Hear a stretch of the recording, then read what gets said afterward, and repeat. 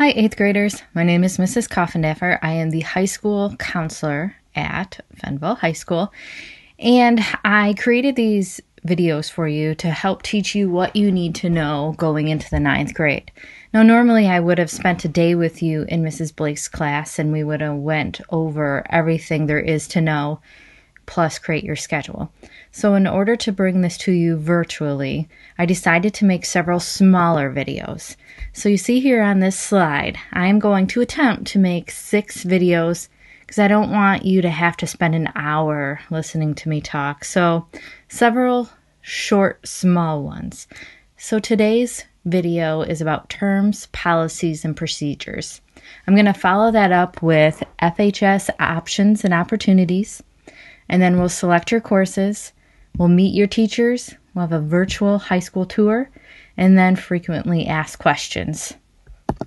So today's video terms, policies, and procedures, things you need to know in advance before creating your schedule. We just need to learn everything first and then choose. So, number one, what is a diploma? The diploma is a certificate stating that you successfully finished high school. So when you're walking across stage, May of your senior year, with your cap and gown on, they hand you your diploma. That's your final certificate of high school saying you're done. Um, you have a list of graduation requirements to successfully complete to get that diploma. So that brings us to number two graduation requirements courses that are required by Michigan Merit Curriculum and Fennville Public Schools to earn a diploma from Fennville High School. You have a list of specific core and elective courses to complete, plus earn 22 credits. Number three, core class courses that you must complete that are required for graduation in English, math, science, and social studies. You will end up taking 28 of these required core classes. Number four, required electives. Courses that you must take that are required for graduation in PE, health, foreign language, and art. You will end up taking eight of these electives. Next are electives, regular electives. These are your choice courses that you must take in order to earn the final 22 credits that you need to graduate. Students will need eight of these courses. And last on this page, number six, credit. Each course that you take and successfully pass in high school equals a half of a credit, so 0.5. Students need 22 high school earned credits total for graduation. So think of it like money. Each class is worth 50 cents, and you need $22 to graduate. All right, next page, just a little bit more vocab. Number one, transcript. This is a document that follows you for 99 years. It lists all the courses that you took in high school, including the grade in each course, your GPA, your SAT scores, your credit count. It's used to track your high school course history. Um, you send it to colleges when you're applying to college.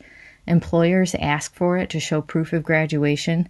So, this document is kept by the high school for 99 years. Pretty important. Number two, GPA. That's your grade point average. Each letter grade is worth points. For example, an A equals 4, and then it goes on down the line to eventually an F equaling 0. So an A minus would be 3.7. These points are averaged together to give you a GPA.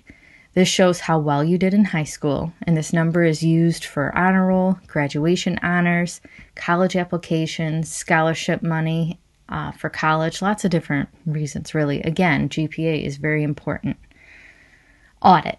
Twice a year, the high school counselor reviews your transcript to track your graduation progress and man- maintains an audit for every single student.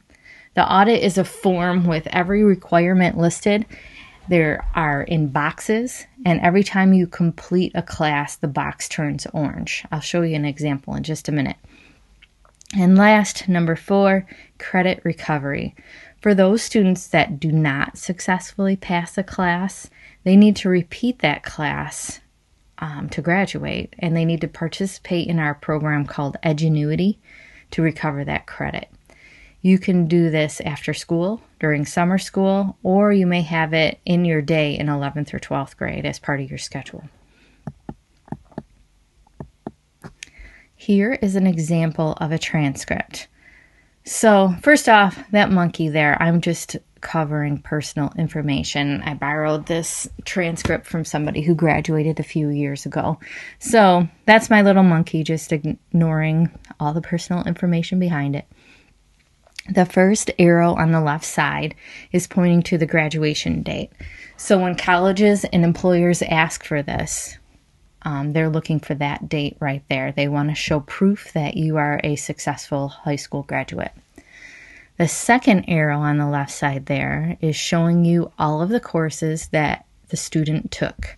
It starts off, it says 11 12, that's the year. So 2011, 2012, this student took algebra. And you notice there's only one course listed there for that year. That is eighth grade algebra. So this student completed algebra in eighth grade, and then the next year is ninth, and then 10th, 11th, and 12th. So you'll notice the grade level that listed there, the grade this person got, the number of credits for each grade, and then on the right side, the first blue arrow is showing cumulative GPA. That means it's taking every single letter grade there, the number of points that each letter grade is worth, and averaging them all together, all years together, for a final GPA. Her GPA was a 3.986, which is pretty darn good. The next one listed is the completed credit hours. She had 24.5 when she graduated. The next arrow is pointing towards test scores. When you're in 11th grade, you take a final, not really a final, but a big test, a state test, kind of like um, M-STEP. This one she took was ACT. Currently, now we take SAT, similar test, but very important test. It helps you get into college. And then finally, I wanted to point out on this example is that highlighted area so the note says, Note, Fennville High School requires all students to earn 22 credits in grades 9 through 12 to be eligible for graduation. Middle school credits are noted for Michigan Merit Curriculum credit only. Now, that's a pretty confusing paragraph. What does that mean? Basically, it means the 22 credits required for graduation have to be high school earned which means they only count in grades 9 through 12. So that algebra up there is an eighth grade class. So although it does work for any student to have algebra completed and the credit does come over, we're not going to count that towards the 22. Now, a lot of students over the years had said, What? Why? Are, why? Why did you make me take algebra in eighth grade and you're not even going to count it?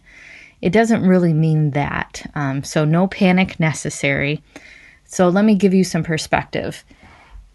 In each grade level, you have up to 12 classes that you take in a year for six for first semester, six for second semester. And those classes, if you pass them all, equal six credits. So you can earn six credits per year. Now, if you're in high school for four years, six times four equals 24, but you only need 22 to graduate. So if we didn't count that algebra, that's actually would have been 25 credits. So no big deal. You have plenty. It does not hurt anything.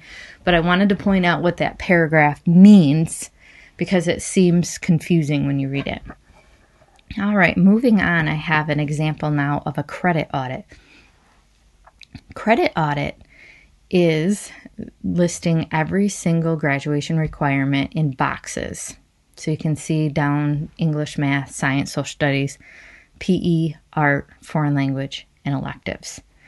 Every time you complete a class, a box turns orange. Now, in our next video, when I talk about options and opportunities, I'm going to dive more in depth with what do you really need to graduate. But this is your first look at what an audit looks like.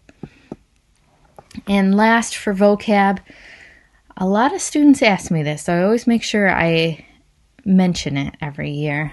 A freshman is a ninth grader. Next year, you guys will be freshmen. Next As a 10th grader, you're a sophomore. In 11th grade, you're a junior. And in 12th grade, you are a senior. All right, let's talk about grading periods. The high school is on two semesters with four marking period type of system. Marking period or semester one has marking period one, marking period two. Semester two has marking period three, marking period four. Let's talk about those percentages there and what those mean. So, grades are based on your final grade. You get final grades for semester one and semester two. That's where you earn credit. Although, yes, you do get grades for marking periods, they are averaged together to give you a final grade. So, marking period one would be 40% of your grade. Marking period two is 40% of your grade. And then you take a final exam, which is worth 20%. Those three grades are averaged together to give you one final semester one grade, and that's the grade that is displayed on your transcript. So, new term then final exam. At the end of each semester, you have one final test that covers all of the content for that semester, and that grade counts for 20%. So, fun fact if you have an F, you, you've been struggling in the class, you didn't do well in the marking periods, and you're ready for the final exam and you have an F. If you get a 77% or higher on the final exam, you pass the class even if you had an F. So, disregarding the averaging, if it's a 77% on the final, you get credit. So that just points to how important final exams are. Not only that they're worth 20%, but they can also bail you out of a situation where you have an F and you can study like crazy and prepare for that final exam, get that 77, and you didn't lose your credit. Next, we're going to talk about high school grading. I have listed here all of the grades A through F the percentage in which they are listed. So an A is equal to 93 to 100%, on down to a D minus is 60 to 62%. And then next column listed there is the GPA points associated with each letter grade. So if you got a B minus, you're looking at earning 2.667 GPA points. So I want to point out on the bottom there AP advanced placement. We actually have two grading scales in the high school. We have the regular one listed here, which is called unweighted, and then with AP courses, that grading scale is called weighted. What does that mean? That means if you take an advanced placement course, you're taking a very rigorous, challenging course. And the weighted grading scale is a little bit of an award for taking a course like that. So you take the letter grade you got. This is the example. If you got a B, which is normally worth three GPA points, you times it times 1.25 and you end up with 3.75 GPA points. So it's meant to give you more points for taking a more difficult class. School day schedule. This is new going into next year. Normally, we had first hour and then summit, which is the same as your pride. And then third, fourth hour was um, fit around lunchtime, and then fifth and sixth. So you see that it's a little different going into next year. We're going to have everybody will be the same first, second, and third. In the middle, between third and fourth hour, is where we'll have lunch and summit. So you go to first, second, and third, and either you have a lunch and then you switch right after lunch to Summit, or you have B lunch, which means you go to Summit first and then switch and go to B lunch. And then everybody would have the same fourth, fifth, and sixth hour. Lunches are not based on grade level, they're mixed 9 through 12 lunches, and it will be a little bit random if you get A or B lunch. Um, that will be something you find out in midsummer. Food service, breakfast 7:15 to 7:40 every morning and breakfast is free to all students. Lunch, we have two lunches, A and B. Lunches are mixed grade level, so you'll eat lunch with 9th through 12th graders. Lunch is free to all students. There are a la carte items that are available for purchase, like extra snacks and beverages. Microwaves are available if you bring your own lunch. We have a closed campus, which means you can't leave during lunch, but the gym is open for those students that enjoy playing a game of basketball or throwing around the volleyball. Attendance policy. Truancy is the first one listed there. Students who accumulate several unexcused absences will be considered truant and disciplinary action may occur. Tardy. If you enter the classroom after the bell rings, you will be considered tardy. You still enter the class, the teacher will write you up, and you will receive a lunch detention the following day. If you are more than 10 minutes late, this will be recorded as an unexcused absence. If you're excused by a staff member, you just need to make sure you have a pass to enter class so you don't get the tardy. If you accumulate too many tardies, further disciplinary action will probably occur. Late procedure. If you're late to school, especially in the morning, you'll ring the doorbell, you'll speak with Mrs. Klausner, the high school secretary, and then you'll report to the high school office for a tardy pass. You'll either be marked absent if it's more than 10 minutes or you'll be added to the lunch detention list. Your parent should definitely always call and excuse you to prevent some of this. And lastly, lunch detention. Students will be placed on lunch detention the following day if they're tardy. They'll be called out of class a few minutes early the next day to get their lunch from the cafeteria and get a lunch to go, and then they report to Mrs. Leslie in the detention ISS room and they will serve a silent lunch. Good to know policies. Number one, the cell phone policy is a big one. Cell phones need to be put away, out of sight, and silent during class. If a teacher sees your phone, they have the right to take it and lock it in the safe. You can pick up your phone after school. The second time offense, your parent has to come pick it up. Cell phones can be used during class, I mean, in between class, during lunch, before school, after school. If your parent has an emergency and needs to reach you, they can call the office and we'll get in touch with you immediately. That's usually the number one worry when you can't have your phone. What if there's emergency? We have lots of ways to get you and we can get in touch with you fast. Earbuds and headphones. Keep those earbuds and headphones off your head during class. You obviously can't hear the teacher if you have your headphones in even dangling from your ears. Keep those out of sight. Backpacks need to be kept in your locker. That's a school safety issue. Parking permits, if you're ready to drive already by ninth grade, all right. This might not affect you until 10th or 11th or 12th, but students need to have their vehicle registered in the office and you must park in the student parking lot. Hats and hoods. Hats and hoods are a distraction to others and teachers and it's a school safety issue. So we ask that you keep your hats and hoods off your head. Um, we want to be able to see your face. Athletic eligibility your grades are monitored every two weeks. Students need to keep their grades passing with no more than one failing grade to be eligible. See the student handbook for further details. And if you're interested in exploring that further, the handbook is um, posted on Fennville's website. Student expectations. So, number one, be nice. Not only are we involved in the Be Nice program, in which we are aware of students and how they're feeling, and students take the pledge in school each year to be nice, we also want students to behave in that way too. Be nice, be kind, be respectful. And we are good hawks, and we ask students to be honest, be accountable, be willing to try, be kind, and be scholarly. The scheduling procedure. Now, that'll be another video where we dive deep into this topic. But overall, number one, we're going to look at your needs. What do you need for ninth grade? And what are you interested in?